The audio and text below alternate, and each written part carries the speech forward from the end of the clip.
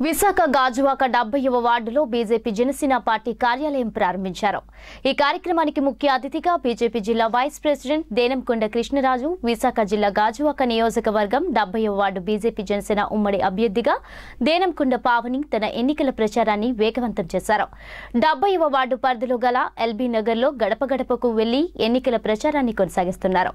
ప్రధానమంత్రి నరేంద్ర మోడీ ఆదేశాల మేరకు అందించే సంక్షేమ పథకాలను ప్రతి ఇంటికి వెళ్ళి మహిళలకు వివరిస్తున్నారు జనసేన బలపరిచిన ఉమ్మడి అభ్యర్థిని శ్రీమతి దేనుకొండ పావని గారు ప్రతి ఇంటికి వెళ్ళి మహిళలను వృద్ధులను పెద్దలను పిల్లలందరినీ కలుస్తుంటే విశేష స్పందన ఉంది.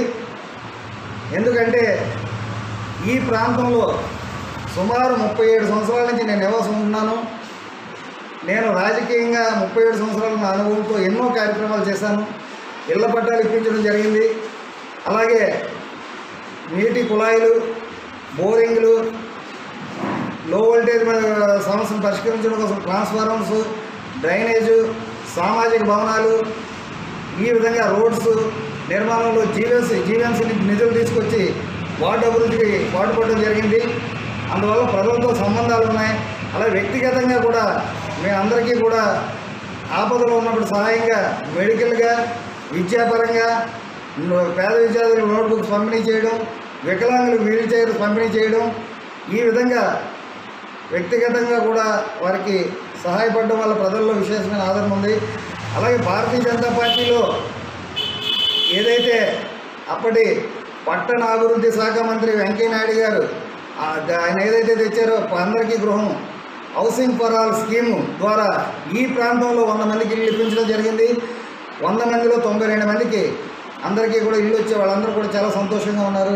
అలాగే స్థలం ఉండి ఇల్లు కట్టుకునే వారు కూడా రెండు లక్షల యాభై వేల రూపాయలు రుణం ఇప్పించడం జరిగింది. ఆ విధంగా వృద్ధులకి పెన్షను గ్యాస్ కనెక్షన్ ఇక్కడ సిఎస్ఆర్ దీపం పథకం ద్వారా ఆరు వందల డెబ్బై ఎనిమిది మంది గ్యాస్ కనెక్షన్ ఇప్పించడం జరిగింది. అలాగే రేషన్ కార్డులు.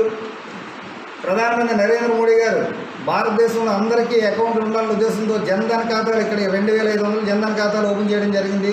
అదే ఖాతాల్లో మన సెంట్రల్ గవర్నమెంట్ ప్రతి వారికి కూడా ఐదేసి వందల చొప్పున త్రీ టైమ్స్ పదిహేను వందలు పడింది. నేను డెబ్బై వార్డు జనసేన బలపరిచిన బీజేపీ అభ్యర్థిగా పోటీ చేస్తున్నాను. నేను ప్రతి చోట ఎక్కడికి వెళ్ళినా బాగా ఆదరిస్తున్నారు. ఇవాళ మేము శ్రామిక్ నగర్ రోడ్ నెంబర్ ఫోర్లో ఉన్నాం. మాకు ప్రతి ఏరియాలో మేము ఎక్కడికి వెళ్ళినా పొద్దు నుంచి శ్రామిక్ నగర్ పొద్దు నుంచి స్ట్రీట్ నెంబర్ వన్ నుంచి మేము స్టార్ట్ చేస్తాం. ప్రతి దగ్గర మాకు ఆదరణ బాగా లభిస్తుందండి.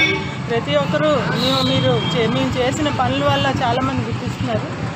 అందరూ మీరు మీరు మీరు ఎలాగైనా మాకు రావాలి మీరే రావాలి అని అందరూ ఆదరిస్తున్నారండి ప్రతి ఒక్కరు. అందుకే మీ మీ వాళ్ళందరికీ ప్రతి ఒక్కరికి ధన్యవాదాలు తెలుపుతున్నాం. నన్ను కానీ గెలిపిస్తే అత్యధిక మీరు మెజార్టీతో గెలిపిస్తే మెయిన్ రోడ్డు వ్యవస్థ అస్సలు బాగాలేదండి. రోడ్డు వ్యవస్థ అస్తవ్యస్తంగా ఉందండి.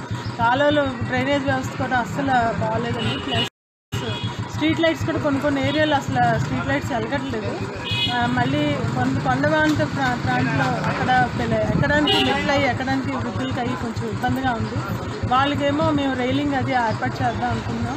పట్టుకోవడానికి వీలుగా ఉండే రైలింగ్ ఏర్పాటు చేద్దాం అనుకున్నాం. Plus girls plus water water సమస్య కూడా ఉందండి. కొంచెం కొన్ని ఏరియాలో అయితే వాటర్ కొంచెం స్లోగా వస్తుంది అసలు రావట్లేదు అని చెప్తున్నారు ప్లస్ మెడికల్గా కూడా మేము కొంత ఎవరికైనా వృద్ధులు లాంటి వాళ్ళకి కూడా మేము ఏమైనా ఆర్థికంగా సాయం చేద్దాం అనుకుంటామండి ప్లస్ uh, గర్ల్స్కి అదే అమ్మాయిలకి లేడీస్కి కొంత భద్రత తక్కువ ఉందండి.